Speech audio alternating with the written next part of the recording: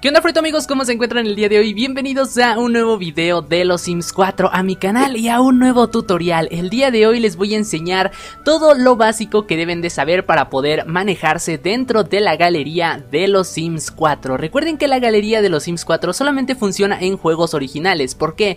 Porque esta se vincula con la identidad de cuenta de Electronic Arts que tú tienes registrada en Origin con la cual has comprado el juego. Ojo chicos, entonces por eso solamente los juegos originales pueden siempre tener acceso a la galería, porque la galería pertenece a Origin y en Origin se supone que tú compraste el juego y ese nombre con el cual tú compraste el juego es el que vas a tener en la galería. Pero bueno chicos, habiendo dicho esto, vamos a acceder a la galería. Podemos hacerlo de dos maneras, presionando este botón en la esquina superior derecha que dice abrir la galería o presionando la tecla F4. Este botón chicos, este botón lo van a encontrar en todas partes en el juego, en el modo construir, en el modo vivir, en el modo crear un sim, básicamente en todas partes, así que siempre van a disponer de él en tanto hayan permitido que su juego se conecte a internet. Ojo. Pero bueno, vamos a abrir la galería. ¿Qué tenemos en la galería? Lo que nos aparece primero es este banner con noticias que tenemos aquí, generalmente promocionando el último pack, unas estadísticas del juego en la parte inferior, las etiquetas del momento en la esquina superior, eh, inferior derecha, y después tenemos el panel de notificaciones de nuestras creaciones, por supuesto en Origin y de gente que seguimos, ¿no? Que tal usuario ha compartido esto, bueno, pues te va a aparecer aquí también en las notificaciones de la gente que tú sigas. Pero aquí viene lo importante, arriba chicos tenemos tres pestañas, la pestaña inicio, comunidad y mi biblioteca y tenemos una adicional que es nuestro Origin ID o nuestra cuenta de EA, que así se llama dentro de la galería, cuenta de EA. Anteriormente Origin ID, entonces si nosotros nos vamos a nuestra cuenta de EA, vamos a poder ver las creaciones a las que le hemos dado favoritos, que hemos descargado, que hemos compartido. Podemos ver en estos botones nuestros amigos y nuestro catálogo. Eh, los amigos en realidad es gente que tú sigues, ¿no? Gente que tú sigues en el juego y el catálogo, cosas que tú has compartido. Y con esta cuenta ustedes me pueden encontrar y seguir en la galería de los Sims 4 para descargar cualquier creación que yo haya hecho. ¿De acuerdo chicos? La otra pestaña, chicos, es la pestaña comunidad. En la pestaña comunidad, chicos, van a ver todo el contenido que todos los jugadores del mundo han compartido. Siempre van a ser lo mismo, casas y sims y mascotas, no hay más. casas, sims y mascotas. Y está padrísimo porque puedes descargarte cualquier contenido de cualquier jugador. En serio, y es muy sencillo. Ahorita les enseño. Esta parte, chicos, que dice comunidad, la pestaña comunidad, como pueden ver, tiene una nubecita. Pues es la eh, nube de Electronic Arts, los servidores, básicamente requiere internet esta pestaña comunidad.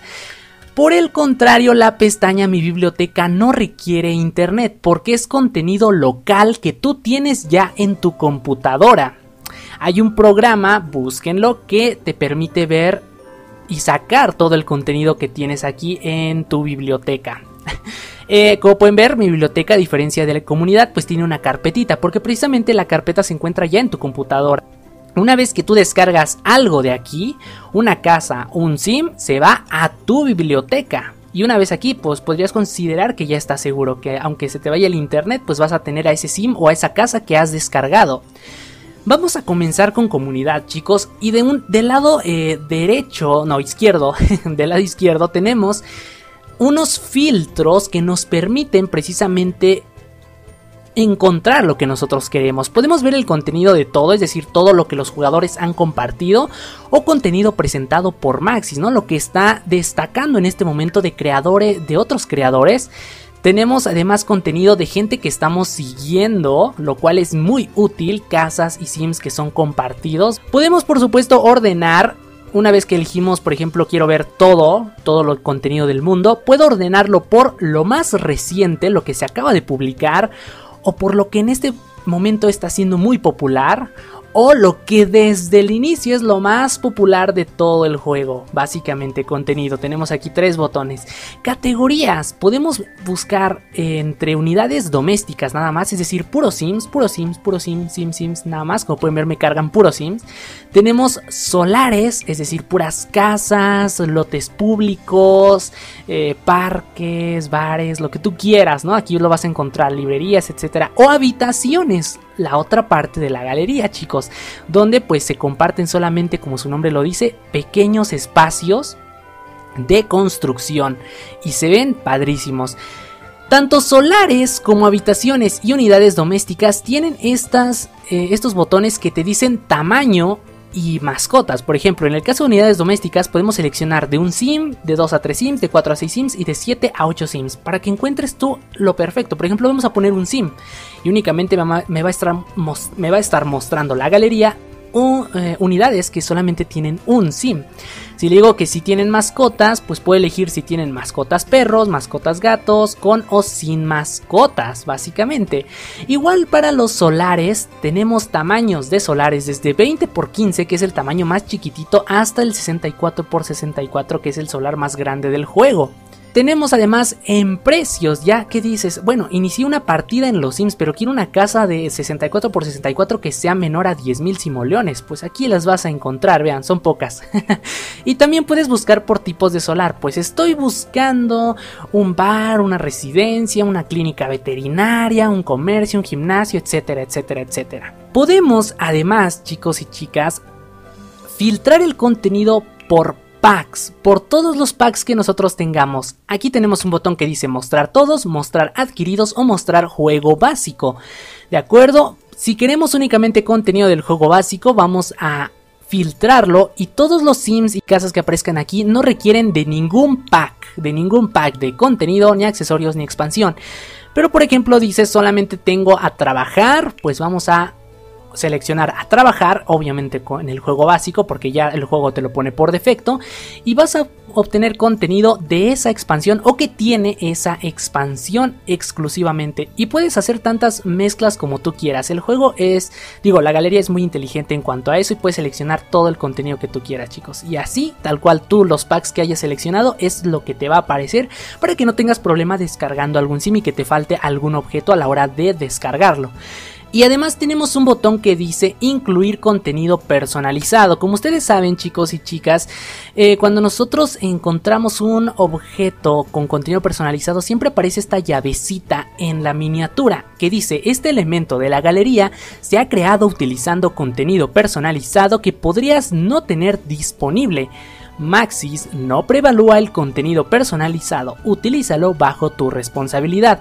Hay una gran desventaja en esta parte chicos, el contenido personalizado es local, no se sube a la galería. ¿Qué significa esto? Bueno, pues que esta persona que compartió sus sims, si yo las descargo y no tengo ese contenido personalizado, ese CC que utilizó, pues los Sims me van a aparecer o pelonas, o sin maquillaje, o sin prendas de ropa, porque no tengo eso en mi computadora. Entonces, cada vez que ustedes suben contenido personalizado a la galería, ese contenido no se sube a la galería, solamente en los Sims como tal, ¿de acuerdo chicos? Entonces estos muchos creadores de contenido personalizado suben su Sim con contenido precisamente a la galería, pero es nada más el sim, como les digo.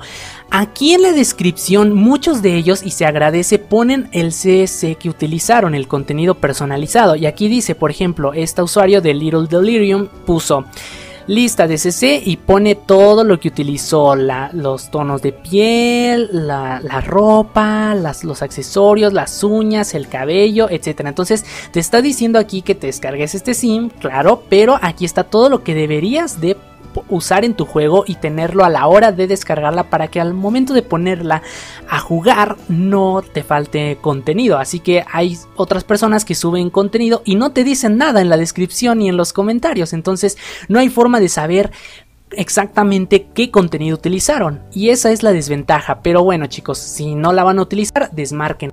Vamos a comenzar descargando un sim random y una casa y les voy a enseñar cómo instalarlos en su juego. Bueno, digamos que me gustó este sim porque lo voy a utilizar para una serie, por ejemplo. Pues lo voy a guardar Hay que fijarnos también que dice utiliza objetos de estos packs. Ojo chicos, porque aquí luego vienen todos los packs mencionados y si les falta alguno el sim desaparece con prendas faltantes y eso no está tan bonito. Bueno, vamos a guardarlo. Tenemos una vez que seleccionamos este elemento botones que dice guardar unidad doméstica añadir unidad doméstica favoritos o denunciar el contenido. No, no vamos a denunciar nada. Podemos además compartirlo en Facebook y en Twitter si tenemos las cuentas conectadas dentro de nuestro juego. Hay otro botón que dice no se puede colocar la unidad en este modo de juego porque los sims, ojo, los sims chicos solamente se pueden meter en el modo crear un sim. ¿De acuerdo chicos? Bueno, vamos a descargar esta familia. Lo voy a poner primero en mi biblioteca. Guardar unidad doméstica en mi biblioteca. Tiene una carpeta y una flechita. Y eso es todo. Ya está guardado. Una vez que el botón se pone en gris y está como en verdecito así transparente, quiere decir que ya se guardó, chicos. Así, tal cual, no hay ningún problema. Pero ahora quiero una casa. Miren nada más, esta casa grande, genial. Wow, está muy bonita. Utiliza objetos de estos packs. Y también me dice aquí que no lo puedo colocar en este modo de juego. Porque, ojo chicos, las casas y habitaciones, lo que son solares y habitaciones, solamente se pueden colocar directamente en el modo construir. Por lo tanto, lo que voy a hacer ahora es guardarlo en mi biblioteca. Perfecto chicos. Este contenido ya está guardado y sano y salvo aquí en esta otra pestaña donde podemos ver precisamente ubicados en la parte superior los elementos que acabo de guardar. Estos dos elementos, esta chica y esta niña y esta casa ya están sanas y salvas en mi computadora, por lo tanto puedo disponer de ellos tantas veces como yo quiera. ¿De acuerdo? No, no es necesario que tenga internet para usarlos, no, ya están aquí chicos. Pues bueno, vamos a usar a esta familia. Vamos a crear una nueva partida chicos, en este caso. Y ahora vamos a encontrar este botón nuevamente, como les digo que está en todas partes, dice abrir la galería. Vamos a abrir la galería y en la pestaña mi biblioteca tenemos a esta familia, ¿de acuerdo? Y aquí ya el botón, como dicen, me lo permite, me permite colocar estos sims porque precisamente son sims para el modo crear un sim y con ellos vamos a estar trabajando. Podemos colocar la unidad doméstica en el modo crear un sim y nos aparece este a esta advertencia que dice fusionar unidad doméstica, es decir, con el sim que ya viene predeterminado en el juego o lo reemplazamos. Yo lo vamos a reemplazar en este caso, le vamos a dar que sí. Y listo, ya tenemos a las sims disponibles para jugar en nuestro. La otra manera, chicos y chicas, es muy sencillo también. Abrimos la galería y desde el mapa del juego, como pueden ver aquí, seleccionamos a nuestra familia y también nos deja colocar esta unidad doméstica en un solar que le alcance el dinero básicamente a esta familia. Siempre son 22 eh, mil simoleones por dos sims, entonces todos los solares que se encuentren en verde están disponibles para que puedan adquirirlas esta familia. Y desde el mapa podemos colocar a estas sims, por ejemplo en esta casa le damos clic a esta cabaña calambre, dice aquí, y le damos aquí en confirmar, en este carrito de mudanza, y dice, esta unidad doméstica se va a mudar. Seleccionamos si utilizamos la casa con mobiliario, sin amueblar, etc. Y le damos en comprar casa. Tan sencillo como eso. Y desde el mapa ya hemos instalado a esta familia que ya vive aquí. Y con esta familia ya podemos comenzar a jugar. También en el modo crear un sim nosotros podemos descargar directamente desde la comunidad cualquier unidad doméstica. Vamos a bajar, por ejemplo, a esta Sim Stoner que utiliza estos packs. Y pues recuerden, me encuentro en el modo crear un Sim. Y aquí sí me deja colocar la unidad doméstica directamente, es decir, sin guardarla. Sin guardarla tal cual en mi juego. Primero, pues puedo colocarla directamente, reemplazando a la unidad doméstica que tengo aquí. Y listo, se ha descargado directamente desde la galería, pues vamos a encontrar a un lado del botón de la galería guardar unidad doméstica.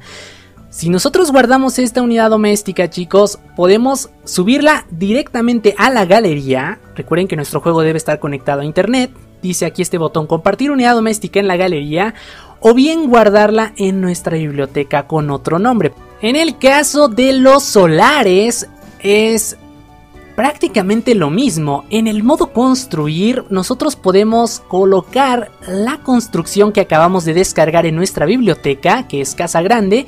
Nuestro solar debe de ser del tamaño de la construcción que vamos a colocar para que no haya ningún problema. En este caso estamos utilizando un solar 50 x 40 y aquí tenemos el botón habilitado que dice colocar solar. Ojo, ¿de dónde la estoy sacando? De mi biblioteca, es decir, no requiere internet que yo instale esta casa. Simplemente le voy a dar aquí y le voy a dar en amueblado, ¿no? Si quiero la casa amueblada.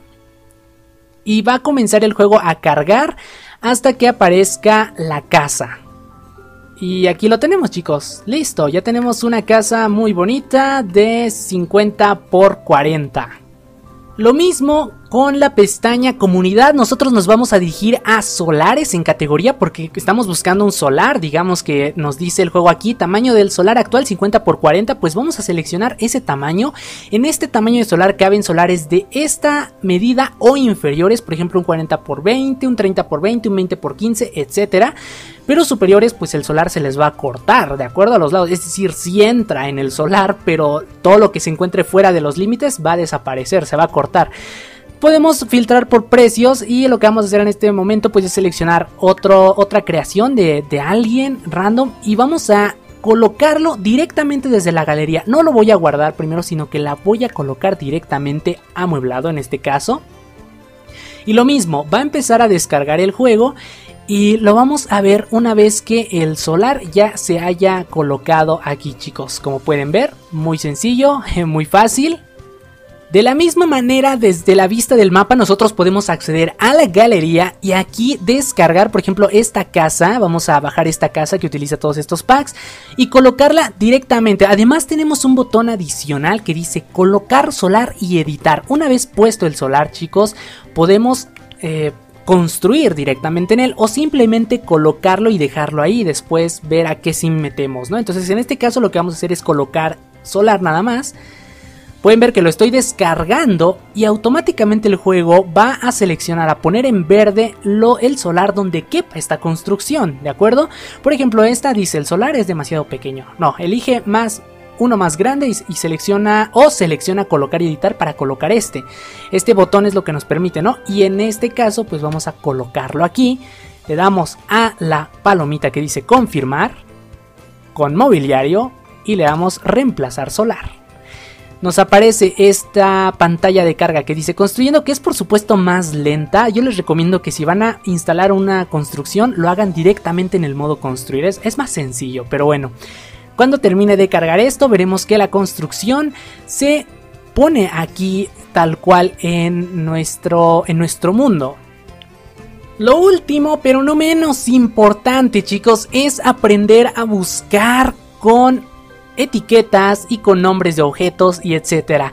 Nombre de objeto casi no, no, no se usa, casi no lo uso porque no siempre aparece lo que uno está buscando. Es más fácil encontrar en este botón, chicos, em, un objeto o una creación por la ID de cuenta de EA o una etiqueta que la gente suele utilizar etiquetas en sus creaciones. Por ejemplo, eh, si estás buscando un bar, pues es más fácil que encuentres una etiqueta con el con, con el hashtag bar, ¿de acuerdo? Entonces, ID de cuenta de EA, ¿de acuerdo? Vamos a introducir ID. En este caso vamos a decir que estoy buscando a Kai Velbert. Y aquí, aquí lo tengo, me aparece.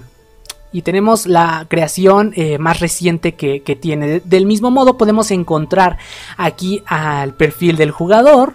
Donde nos podemos meter y ver las creaciones que ha hecho, los sims que ha compartido. Y también podemos buscar por la etiqueta, en este caso digamos que estoy buscando fritosaurio, etiqueta fritosaurio, aparece automáticamente. Le doy aquí y van a aparecer todas las casas y creaciones que yo he hecho y creaciones que otros usuarios han subido de mis construcciones, no solamente mías, sino que gente que también pone sus creaciones con usando mi etiqueta, ¿de acuerdo? Entonces, Así es como aparecen en la galería. Esto es muy importante chicos para que aprendan a buscar con ID de cuenta de EA y una etiqueta. Pero bueno chicos, eso ha sido todo por el tutorial del día de hoy. Si tienen alguna duda déjenlo en los comentarios. Recuerden dejar su poderoso like y su sensual comentario. Así como pasarse a los otros tutoriales que tengo en mi canal donde aprenderán más acerca de los Sims 4. Que está aquí abajo en la descripción del video. Nos vemos en un próximo contenido de los Sims 4 en mi canal. Adiós.